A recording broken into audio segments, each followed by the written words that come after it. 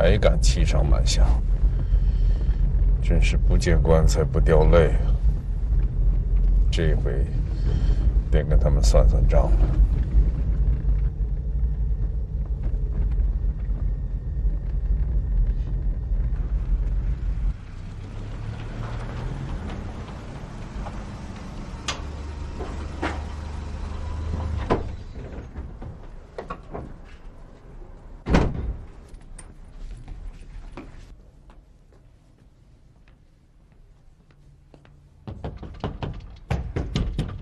有人吗？好。哦，是罗市长啊。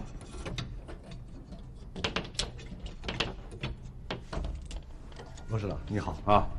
乡长和书记呢？哦，他们在镇上南南表演饭店吃饭呢。这么晚了，吃什么饭？好像是谁过生日吧。带我们去找他。哎，好。哎，老李，你带罗市长去，我值班呢啊。好。哎哎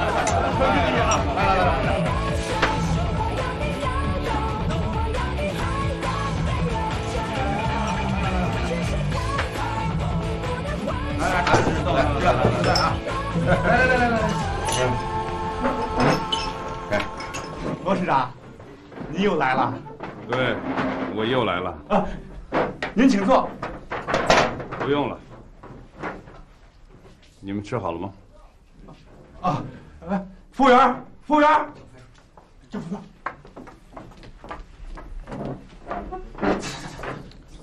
除了乡长、副乡长、书记、副书记，别的人都下去了。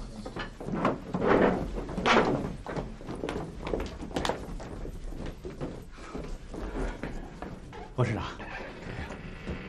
啊，呃，罗市长开会是不抽烟的啊。咱们开始办公。啊，好，坐下吧。把窗户开一下。来来来，坐坐坐。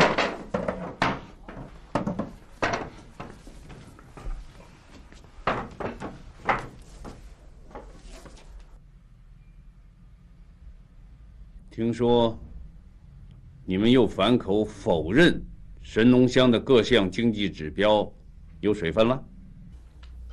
这，说。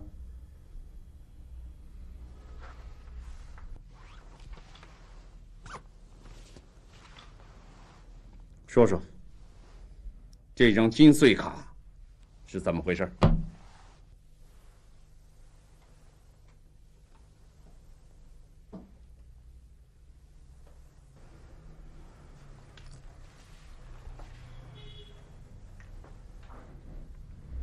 不认识了？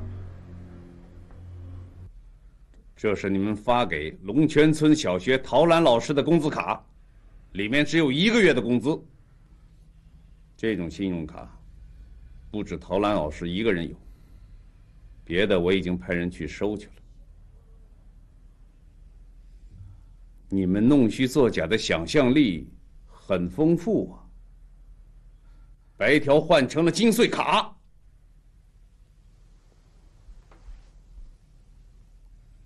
补发拖欠教师工资，你们开了庆祝大会，上了报，上了电视。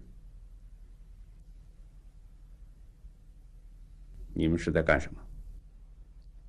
欺骗政府，欺骗群众，这问题是严重的。陆乡长，专项拨款给教师补发工资的钱到哪儿去了？啊，呃，这笔钱我们准备给办公楼挪用了。啊，后来呢，想卖辆车补发工资。可县委的万书记说：“他说，说什么？他说车卖了，以后你们还需要，又得买。这样一出一进，损失太大了。他让我们通融的办法来，来救急。通融的办法是什么？就是用金穗卡糊弄领导，坑害教师吗？”我们又没有办法。发金穗卡，是万书记让做的。叶记者，给我张纸。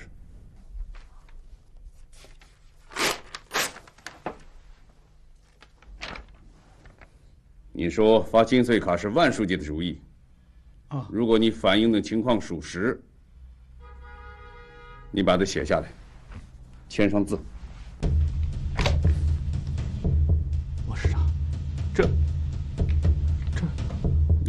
这一套，已经欺骗了各级政府和广大群众。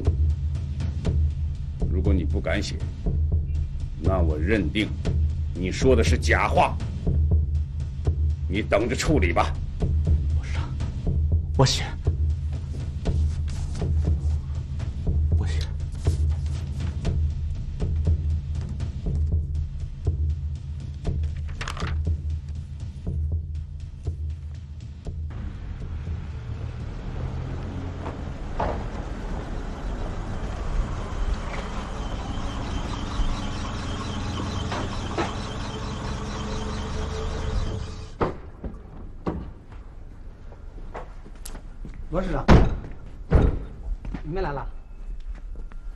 万书记联系一下，如果他睡了，让他起来，就是我找的。好，哦，万书记这会儿还没休息，就在太子县宾馆，干什么呢？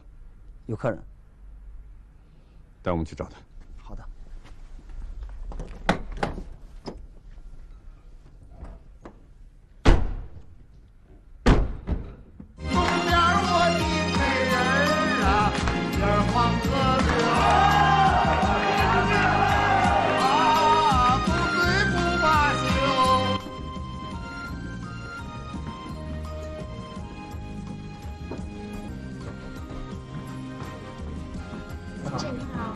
万书记在这呢。来呀来喝酒啊，不醉不罢休。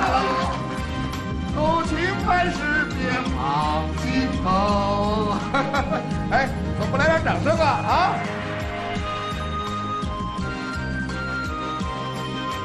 罗市长，哎，欢迎欢迎！哎，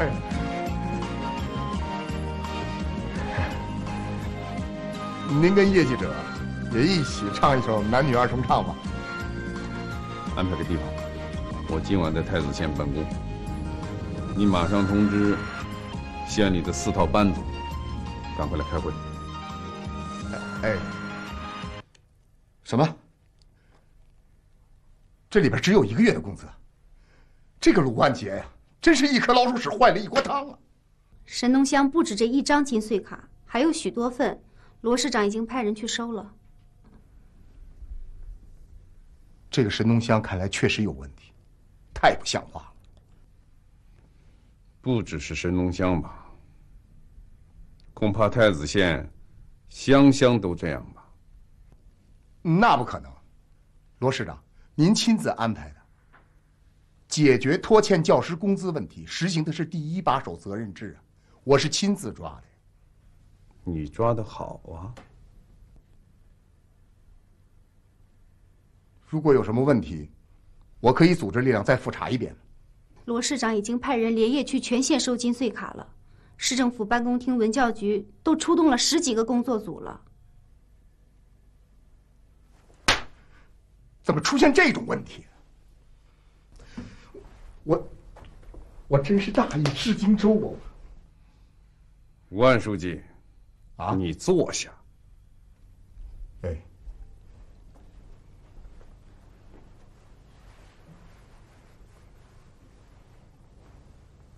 既然是第一把手负责制，你大意已经是责任重大。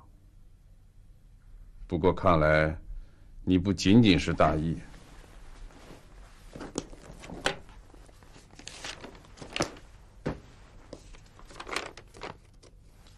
这是鲁万杰写的，你看看。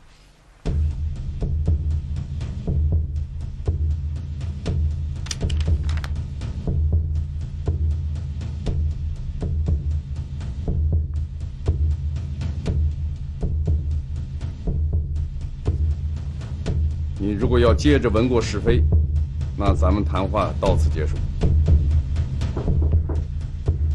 进来。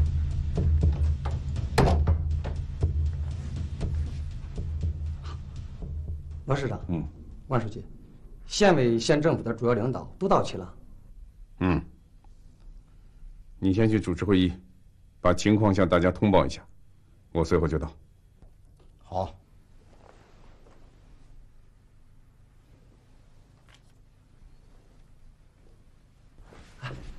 万书记，要不要现在去告诉一下王书记？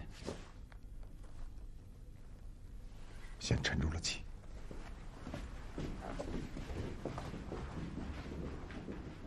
罗市长，嗯，一会儿太子县领导开会，我可以现场采访吗？可以。这次太子县的事情，要用各种社会监督手段来解决。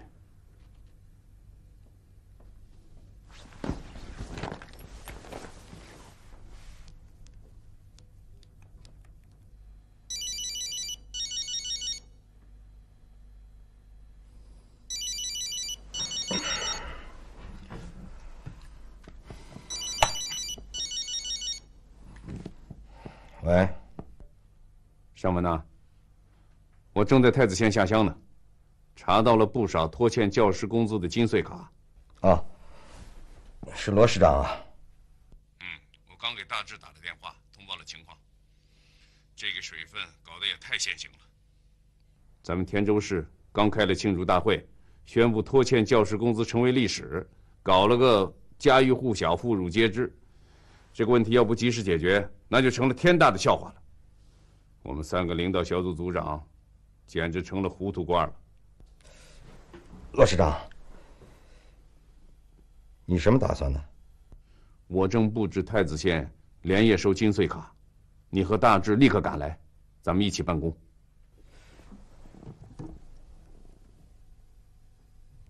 这是不是太晚了呀？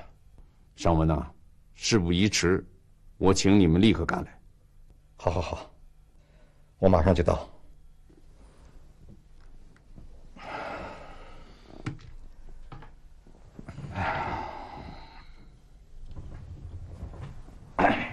半夜三更的，干什么呀你？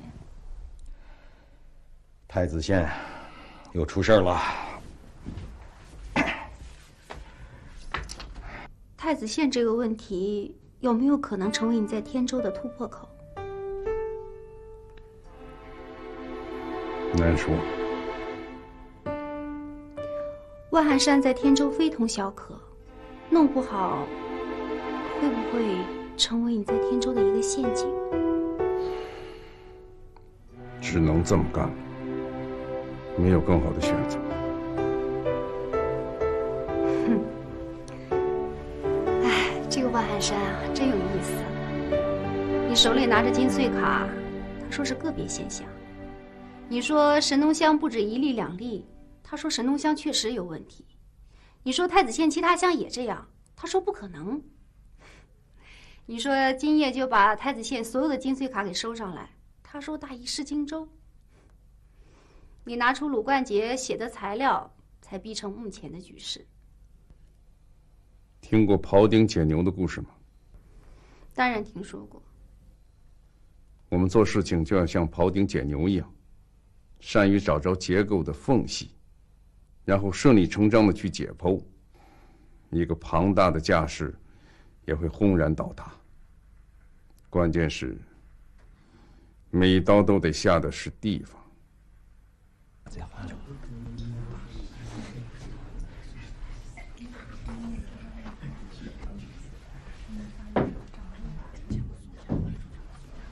罗市长，大家都来了。哎，坐下吧，大家。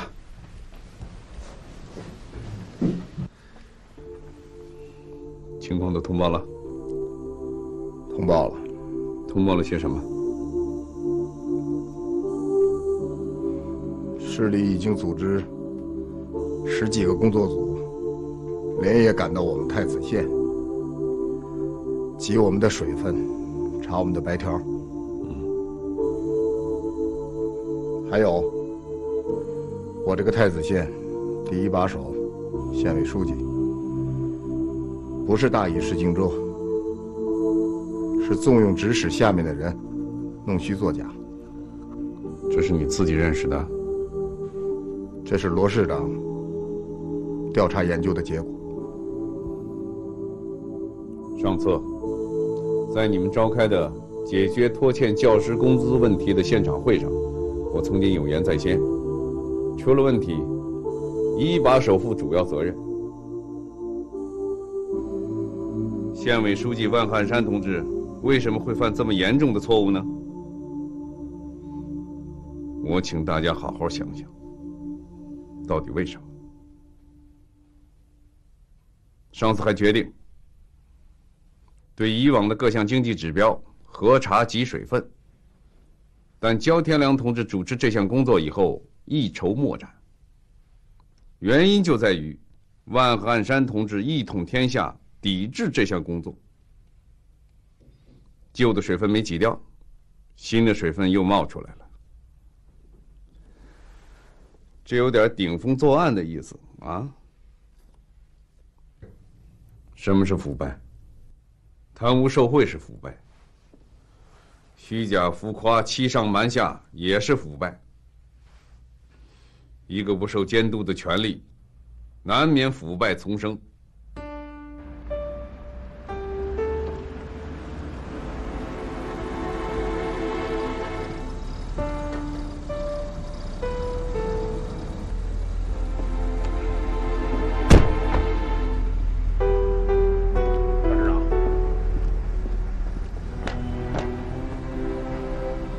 用金穗卡欺骗上级，坑蒙老百姓，这事情还小吗？在座的，包括王汉山在内，大大小小都是政治家呀。一个对社会撒谎的政治家，有什么资格坐在台上？罗市长，孙书记和贾市长赶到了。啊，知道。他们二位是我请来的，今天。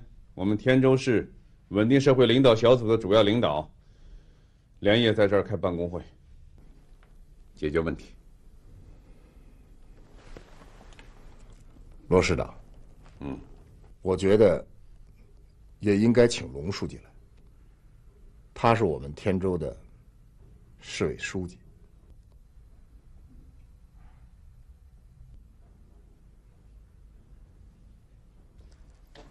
好，来了，辛苦了二位。罗市长辛苦了。罗市长，啊，你打电话的时候，我正躺床上看书呢，也没有睡。好，啊，坐这儿。哦，好。